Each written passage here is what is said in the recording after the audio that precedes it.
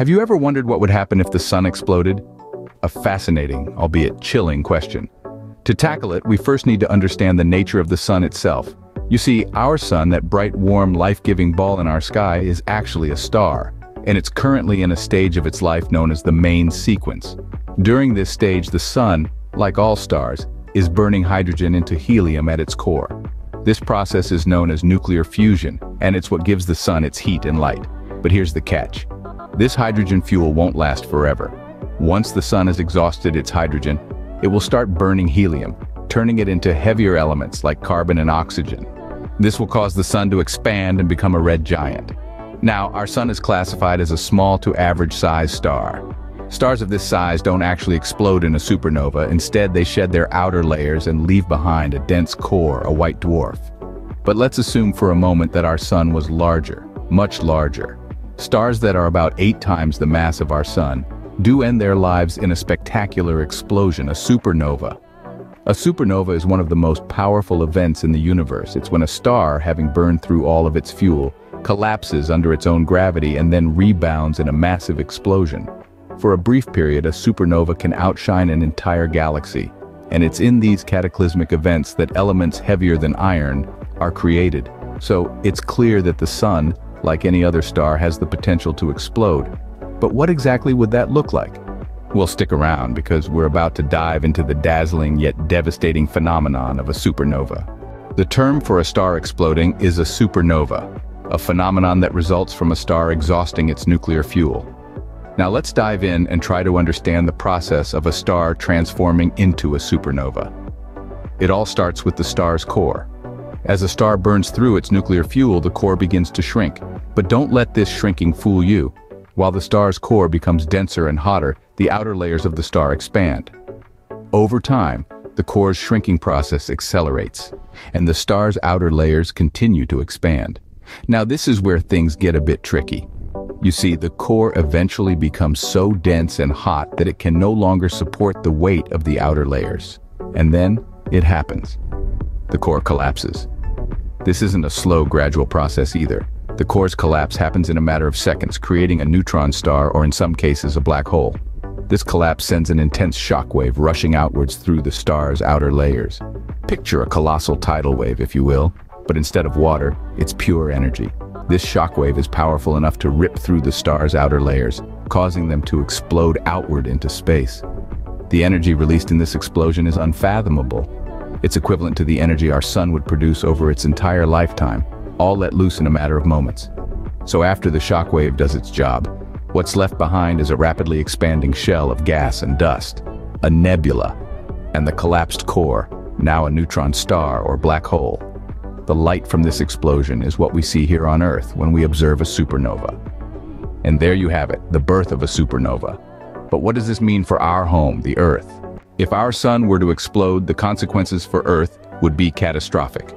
Now, let's delve into what exactly would happen in such a scenario. Firstly, we would be hit by a sudden, intense blast of radiation. This radiation would be so powerful that it would strip away the Earth's protective ozone layer.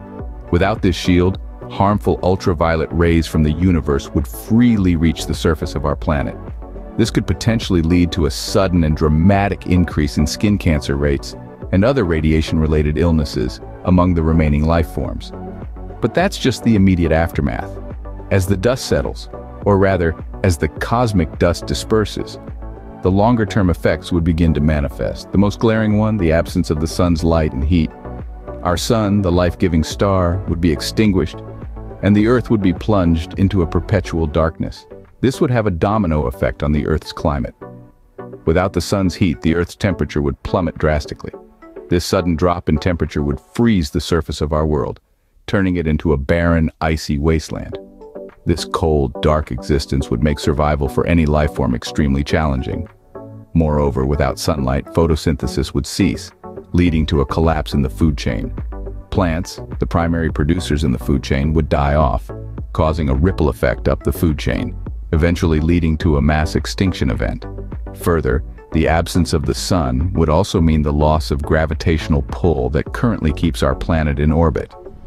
Without this, Earth could be sent hurtling into the depths of space, on a lonely, aimless journey through the cosmos. the loss of our sun would undoubtedly mean the end of life as we know it on Earth. Without our life-giving star, our planet would be left a cold, lifeless sphere, drifting aimlessly through the endless expanse of space. But even after the initial explosion, the aftermath of a supernova would continue to impact the universe. Following the explosive demise of a star, what remains is a dense, hot core. If the mass of this core is about one and a half times that of our sun, it will shrink down to a size of around 20 kilometers in diameter, forming a neutron star. These celestial bodies are so dense that just one teaspoon of their matter would weigh about a billion tons on Earth. However, if the core is even more massive, about three times the mass of the sun or more, even the neutrons can't withstand the gravitational pull. Instead, they collapse inward, resulting in a bottomless pit of gravity, a black hole.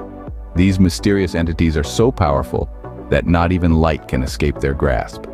Moving beyond the remnants of the star, the aftermath of a supernova also has broader implications for the universe. The explosion propels a shockwave into space, carrying with it the outer layers of the star. This stellar debris, rich with elements like carbon, nitrogen, and oxygen, is scattered throughout the cosmos. These elements, cooked up in the heart of the star, are the building blocks of new stars and planets. In fact, we and everything we know are made of stardust. The iron in our blood, the calcium in our bones, the oxygen we breathe, all these elements were once part of a star that exploded long ago. So the aftermath of a supernova, while devastating, is also a process of rebirth. It's a cosmic cycle of death and creation, a testament to the constantly evolving nature of the universe. As we contemplate the power and beauty of this process, we are reminded that we are not separate from the universe, but a deeply integral part of it. So while the explosion of our sun would be disastrous for Earth, it would also be a cosmic event of incredible power and beauty.